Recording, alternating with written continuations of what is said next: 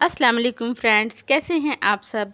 कुछ टेस्टी और चटपटा खाने का दिल करे तो ये झटपट बन जाने वाली चटकारा चिकन की ये रेसिपी आपके लिए बेहतरीन ऑप्शन हो सकती है।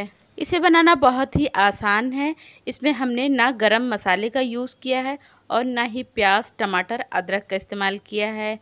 इसे आप कम टाइम और कम इंग्रेडिएंट से बनाकर फटाफट सर्व कर सकते हैं। ये इतना टेस्टी और जूसी बन के तैयार होता है कि आप इसे बार बार बनाना चाहेंगे। तो चलिए इसे बनाना शुरू करते हैं। यहाँ हमने ले लिया है चिकन 700 ग्राम और इसमें देखिए हमने कट लगा दिया है। अब इसमें कुछ मसाले ऐड करेंगे।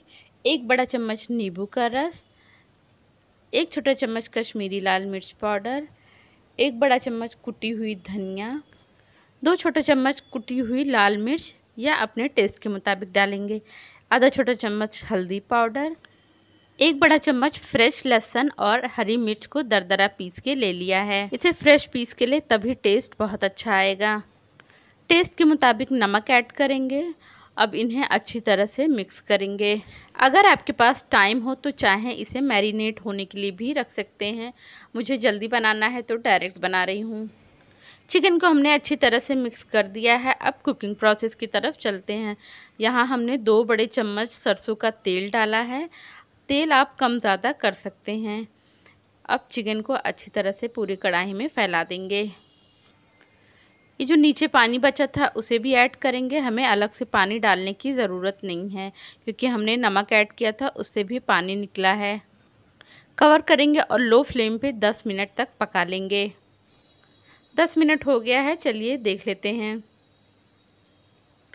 चिकन से देखिए कितना ज़्यादा पानी निकला है। अब फ्लेम को फुल करेंगे और चिकन में जितना पानी है, उसे सुखा लेंगे और इसी में चिकन कुक भी हो जाएगा।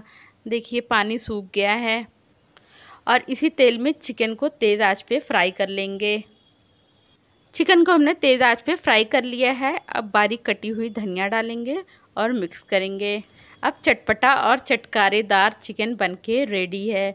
इसे चूल्हे से उतार लेंगे और डिश आउट कर लेंगे। तो आपने देखा फ्रेंड्स इसे बनाना कितना आसान है और ये कितने कम इंग्रेडिएंट से बनके रेडी हो गया है।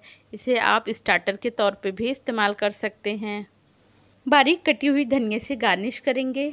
इसे हमने ओनियन रिंग्स और लेमन के साथ सर्व किया है।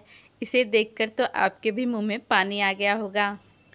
इसे जब नींबू निचोड़ कर खाएँगे तो आप इसके दीवाने हो जाएँगे।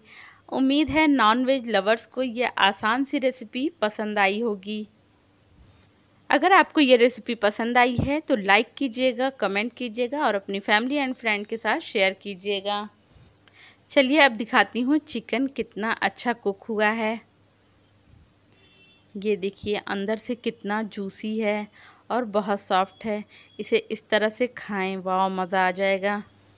ऐसी ही मज़ेदार रेसिपी देखने के लिए हमारे चैनल को सब्सक्राइब करें बेल आइकन ज़रूर प्रेस करें। वीडियो देखने का आपका बेहद शुक्रिया। अपना ख्याल रखिएगा। अल्लाह हाफिज़।